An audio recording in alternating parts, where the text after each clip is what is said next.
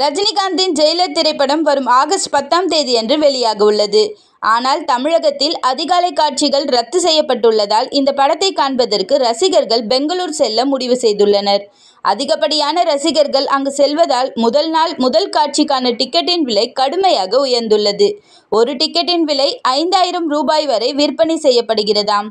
இந்த தகவல் ரசிகர்கள் மத்தியில் கொந்தளிப்பை ஏற்படுத்தியுள்ளது.